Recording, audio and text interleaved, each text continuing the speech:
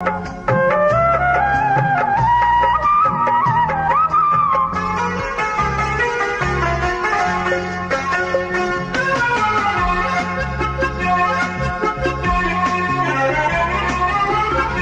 প্রিয় দর্শক, এই মুহূর্তে আমি তাকে মঞ্চে আমন্ত্রণ জানাচ্ছি। মঞ্চে আসছেন আমাদের সবার প্রিয় চিত্রনায়ক ফেরদৌস। একদিন স্বপ্নের দিন, বেদনার বর্ণ অনেক ধন্যবাদ ফেরদৌস ভাই। ছায়াগল্প অনুষ্ঠানে আপনাকে স্বাগত জানাচ্ছি। দর্শক আমি এখন গল্প করব আমাদের সবার প্রিয় চিত্রনায়ক ফেরদৌস ভাইয়ের সঙ্গে।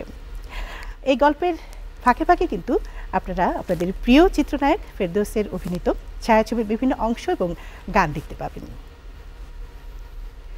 ফেরদৌস ভাই আজকে আপনাকে পেয়ে আসলে অনেক ভালো লাগছে। আমাদের ছায়াগল্প অনুষ্ঠানে আপনি সময় দিয়েছেন। আসলে গল্পটা কোত্থেকে শুরু করা যায়?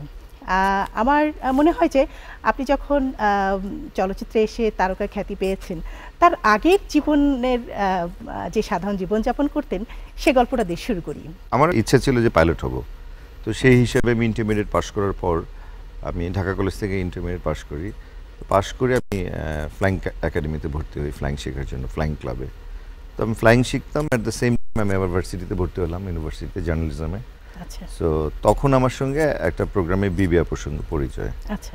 তো বিবি রাসেল তখন বিবি প্রোডাকশন ওপেন করবে বাংলাদেশে। বিশ্ব সাহিত্য কেন্দ্রে একটা বড় শো করবে। সো আমাকে বলল করবে কিনা তো আমারও একটা আগ্রহ ছিল। বিকজ আমি যখন ঢাকা ইউনিভার্সিটিতে ভর্তি হলাম তখন আমি বিভিন্ন ফিল্ম সোসাইটি আবৃত্তি কর্মশালা ফটোগ্রাফি কোর্স বিভিন্ন রকমের এসব অ্যাক্টিভিটিজের সঙ্গে জড়িত ছিলাম। আচ্ছা। তো সেই হিসেবে আমার কাছে মনে হলো বিবি আপুর মতো এত বড় একজন বড় মাপের বাংলাদেশের ফ্যাশন ফ্যাশন ডিজাইনার তার সাথে কাজ করাটা একটা সৌভাগ্যের ব্যাপার। Then I start working with her এটা কেমন করে এটা আপনি সিনেমাতে চলে আসলেন কার মাধ্যমে সেটা হয়েছিল? আমাকে আসলে সবচেয়ে বেশি ইন্সপায়ার করেছে আমির হোসেন বাবু ডান্স ডিরেক্টর আচ্ছা। ডান্স ডিরেক্টর আমির হোসেন বাবুর সাথে আমার পরিচয় হলো এফডিসি এফডিসিতে গিয়ে। আমি ফিল্ম সোসাইটি থেকে একবার এফডিসি পরিদর্শনে যাই। তো সেখানে গিয়ে বেসিক্যালি বাবুর সাথে আমার পরিচয়। আচ্ছা। তো বাবু ভাই আমাকে বলল যে তুমি ফিল্ম করো। তা আমি প্রথম বললাম না আমাকে দিবে না বাসা থেকে করতে। তারপর বলে কেন দিবে না? হ্যাঁ, করতে হবে। আমি পারমিশন নিব তোমার বাবা বাবা আমার কাছে। তো বাস শুরু হয়ে গেল। শুনেছিলাম যে আপনি প্রথম ডামি হিসেবে কাজ করেছিলেন চলচ্চিত্রের দোলা ছবিতে। আমাদের ফ্লাইং ক্লাবে সানি ভাই শুটিং করতে এসেছিল আচ্ছা। ওমর সানি। তো যেহেতু উনি পাইলট না তো আমি প্লেনগুলি চালিয়ে দিয়েছিলাম। তো সেই শর্টগুলিতে কারণ উনি তার একটা পাইলট হিসেবে হ্যাঁ, তো হ্যাঁ। সেই শর্ট দিতে পারে না। But that was not dummy ওটা এরপরে তো আপনি একক নায়ক হয়ে আসলেন পৃথিবী আমার চায় না এই ছবিতে। আমি প্রথম সাইন করে ওটা শুটিং শুরু করেছিলাম সবার আগে সিনেমাটা। আচ্ছা। আর বুকের ভেতরে আগুন এটা কি প্রথম চলচ্চিত্র ছিল আপনার? না আমার প্রথম যদি শুটিং হিসেবে প্রথম ক্যামেরার সামনে আমি দাঁড়াই পৃথিবী আমার চায়না দিয়ে। অঞ্জন সরকারের পরিচালিত বিকিডির প্রযোজনা। তো পৃথিবী আমার চায়না শুটিং কিছু দূর হয়ে যাওয়ার পর এর মধ্যে সালমান শাহ চলে যায়। তো ওর একটা অসমাপ্ত ছবি আমি বুকের ভেতর আগুন ওটার আমি মানে শেষ করেছিলাম। এখন আমি যে চলচ্চিত্রটা নিয়ে কথা বলব সেটা হচ্ছে হঠাৎ বৃষ্টি। হ্যাঁ এটা কিন্তু আপনার চলচ্চিত্র জীবনের একটা টার্নিং পয়েন্ট বলা যায় হুম এই ছবিটা। তো একটু গল্প শুনতে চাই। আসলে আমি এই বুকের ভিতর আগুন করার পরে বাসু চ্যাটার্জি বাংলাদেশে আসেন উনি জয়েন্ট ভেঞ্চার ফিল্ম বানাবেন আমি পেপারে দেখি। যে হঠাৎ বৃষ্টি নামে একটা সিনেমা বানাবেন। বাট হিরো কে হবে তখনও ডিসাইডেড ছিল না। হঠাৎ করে আমাকে আমার প্রডিউসার সানোয়ার মোর্শেদ আর হাবিব হাবিব খান আর কি আমার পিতৃতুল্য হাবিবুর রহমান। তা হাবিব আঙ্কেলরা ফোন করে বলল যে কালকে সকালে বাসু চ্যাটার্জি তোমার সঙ্গে দেখা করবে। আমি তো খুবই এক্সাইটেড বাট বিস্মিত আর কি। তারপর আমি তার সঙ্গে দেখা করতে গেলাম। যাওয়ার পর আমাকে একটা স্ক্রিপ্ট দিয়ে দিল যে আমি একটা সিনেমা বানাচ্ছি হঠাৎ বৃষ্টি। তিনটি নায়িকা একটা নায়ক। সো তুমি করবে কিনা? তা আমি কিছুই বুঝলাম না যে কি হোয়াটসঅ্যাপ নেই তারপর আমি ভাবলাম যে নিশ্চয়ই বম্বে গিয়ে উনি ভুলে যাবে। জাস্ট কথার কথা। কিন্তু বোম্বে উনি ভুললো না। উনি আমাকে ফোন করল ফোন করে বলল যে ওরা তোমাকে ভিসা করে দিবে তুমি ইন্ডিয়া চলে আসো। তো তখনও আমি কাউকে বলিনি ইনফ্যাক্ট আচ্ছা। কারণ আমার ধারণা ছিল ইন্ডিয়া যাব ওখানে গিয়ে হয়তো অডিশন দিতে বলবে।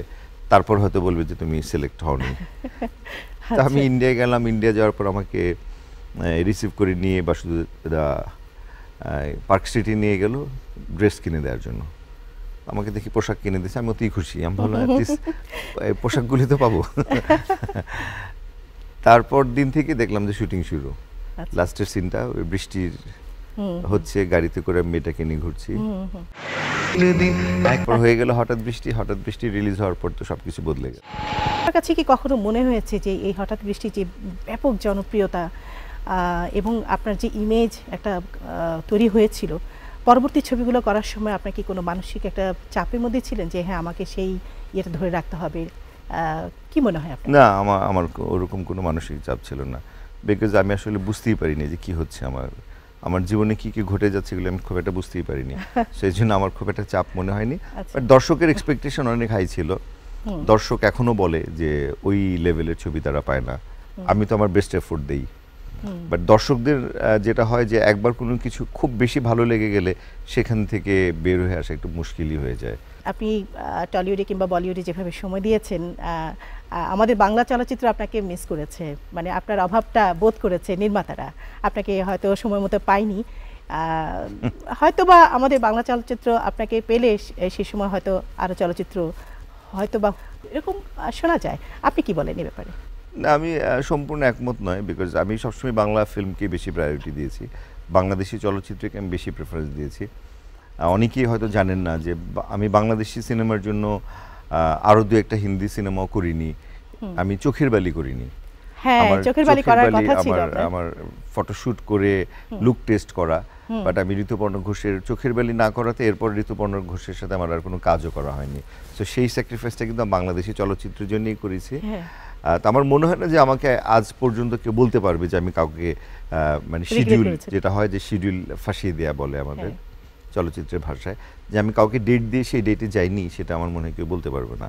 আপনি তো আমাদের বাংলা চলচ্চিত্রে অনেকগুলো ছবি করেছেন টলিউডে করেছেন বলিউডে করেছেন। তা আপনার কাছে কি মনে হয়েছে যে আমাদের বাংলা চলচ্চিত্র তুলনা যদি করতে বলি কম্পারিজন যে আমাদের সেখানে অভিনয় করার পর আপনার যে অভিজ্ঞতা হলো যে আমাদের বাংলা চলচ্চিত্রের সাথে তুলনা করতে বললে যে কোন দিকটা আমাদের আরও ডেভেলপমেন্টের দরকার আছে বলে আপনি মনে করেন?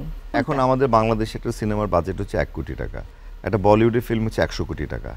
সো এটা কি কোনো কম্পারিজন আসে? এটা তো তুলনা হয় না। এটা তুলনা না করাটাই বেটার বাট আমার কাছে যেটা মনে হয় যে আমাদের ফিল্ম ইন্ডাস্ট্রি এখন ভালো দিকে এগোচ্ছে। আমাদের এখানে প্রচুর ট্যালেন্টেড অভিনেতা অভিনেত্রী আছে। প্রচুর ট্যালেন্টেড টেকনিশিয়ান আছে। বাট মানে সেই ধরনের পেট্রোনাইজ করার মতো প্রডিউসার নেই।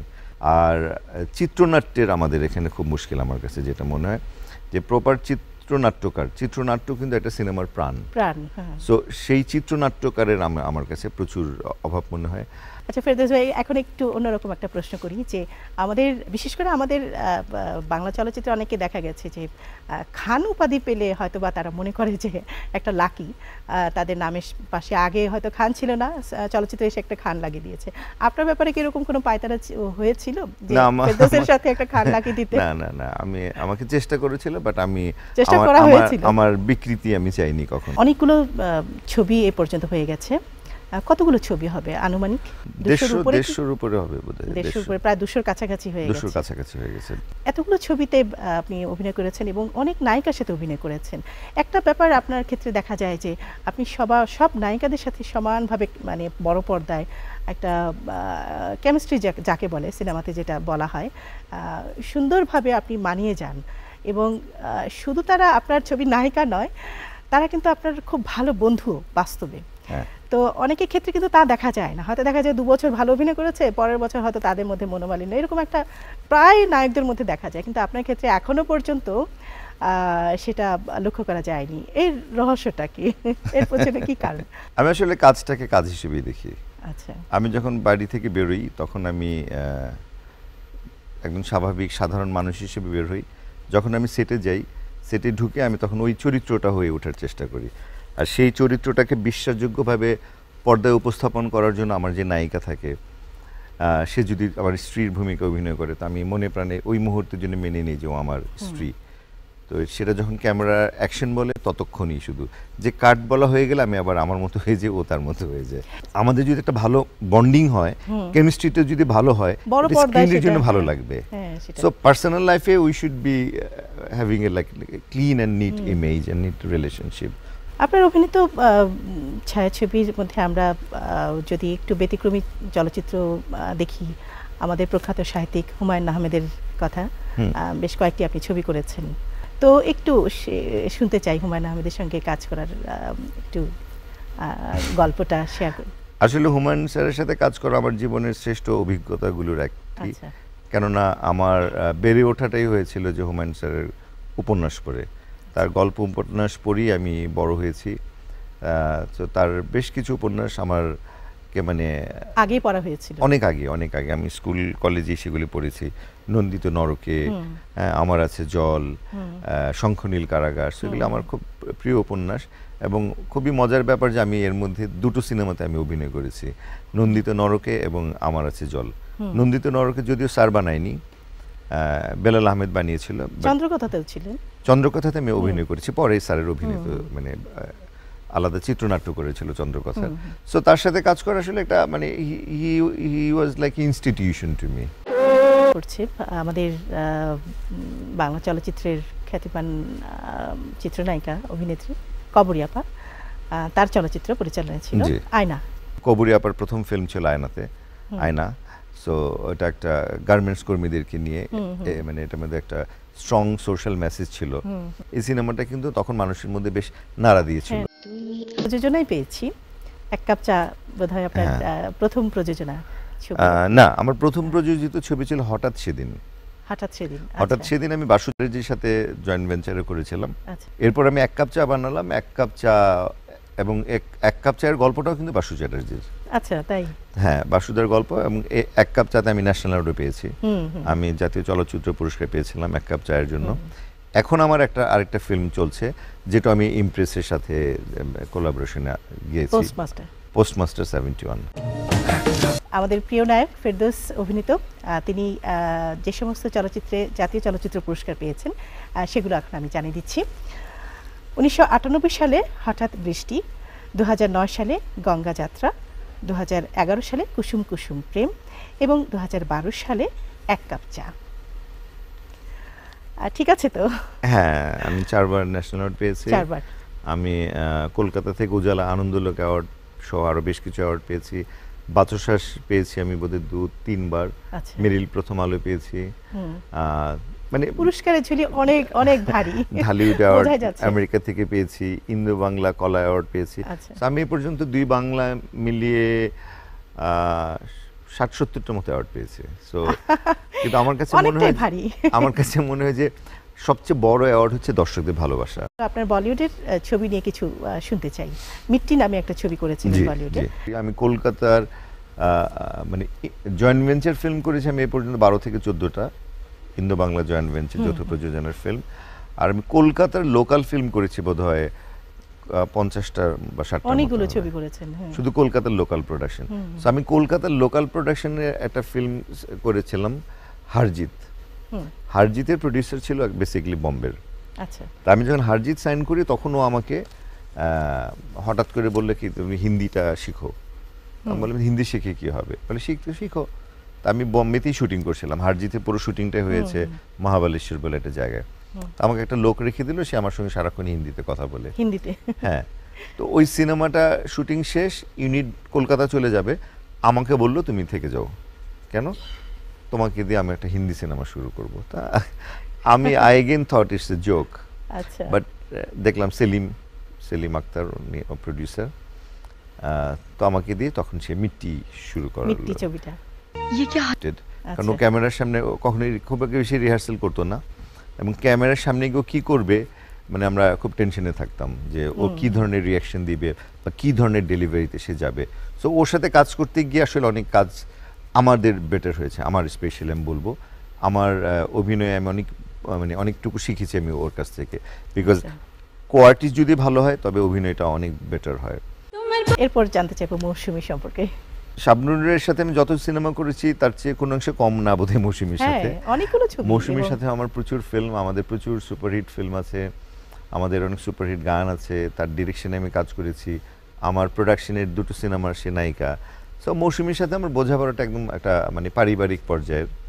ইটস লাইক এখন we are like family because আমরা যেই পরিস্থিতি যেই সময়টাতে কাজ করতে যাই তখন we both had family so আমাদের ইন্টারাকশনটা ওই লেভেলের সো আমার কাছে মনে হয় যে আমার কোনো সুখ দুঃখ হলে I can share with her so আমার একটা নির্ভরতার জায়গা একটা আস্থার জায়গা মৌসুমি। তো পূর্ণিমার সাথে আমি সিনেমা করেছি আট দশটার মতো করেছি। বাট ওর সাথে সিনেমার চেয়ে বেশি আমরা জনপ্রিয় হয়েছি উপস্থাপনা করে। হ্যাঁ আমরা জুটি বেঁধে উপস্থাপক হয়ে প্রচুর প্রোগ্রাম করেছি। অনেক স্টেজ শো করেছি আমরা দুজন। So and we we have got a like very very intense relationship have got like এরপরে আহ, যেটা বলব পপির সাথে আপনার বেশ কয়েকটা ছবি প্রশংসিত হয়েছে এবং পুরস্কৃত হয়েছে। সেরকম ছবি রানীকুঠির বাকি ইতিহাস গঙ্গা যাত্রা কারাগার হ্যাঁ। দুই বিয়ের কীর্তি হ্যাঁ। ওপারে আকাশ পপি আর ফেরদৌসের কিন্তু ভালো একটা জুটি বড় পর্দায় আমরা দেখি। হ্যাঁ পপি ভীষণ মানে খেটে কাজ করে। ও যদি একটা ফটোশ্যুটও করে দেখা যায় যে ওই ফটোশ্যুট নিয়ে হয়তো তিন দিন ধরে মিটিং করতে হবে ওর সাথে। আচ্ছা। হ্যাঁ আর ফটোশ্যুট হয়তো দুটো স্টিল লাগবে বাট সারাদিন ধরে পপি শ্যুট করবে। হ্যাঁ। আই রিমেম্বার বোধহয় আমি আর পপি একবার ফটোশ্যুট করেছিলাম তখন রিলে শ্যুট হতো। পঁয়ত্রিশ না ছত্রিশ রিল শ্যুট হয়ে গেছিল। আচ্ছা। সো ওর ও ওর কোনো মানে ই নেই টায়ার্ড হয় না।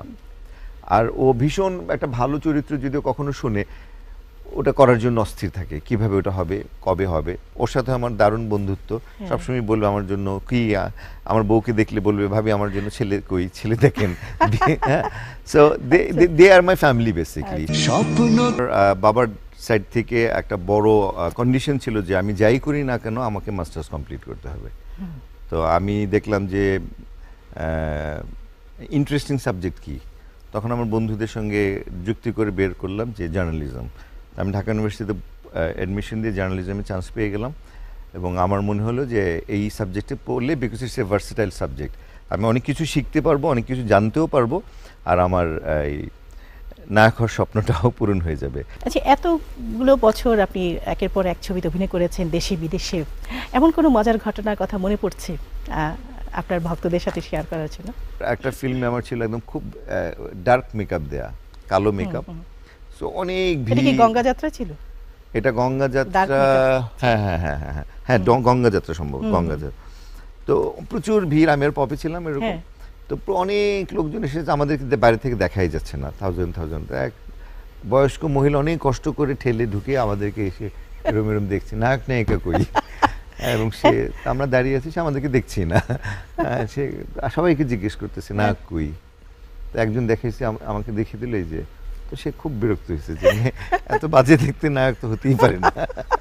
সে এরকম আসলে প্রতিনিয়তই ছোট ছোট পাঞ্চেস লাইফে হতেই থাকে। এবারে আপনার সংসার নিয়ে কিছু জানতে চাইব। আমার বউর নাম তানিয়া রেজা। ও বাংলাদেশ বিমানের ক্যাপ্টেন ও এখন সেভেন থ্রি সেভেনের ক্যাপ্টেন বাংলাদেশের কয়েকজন মহিলা ক্যাপ্টেনের মধ্যে she is one of them I am very proud of my wife যে সে এরকম একটা।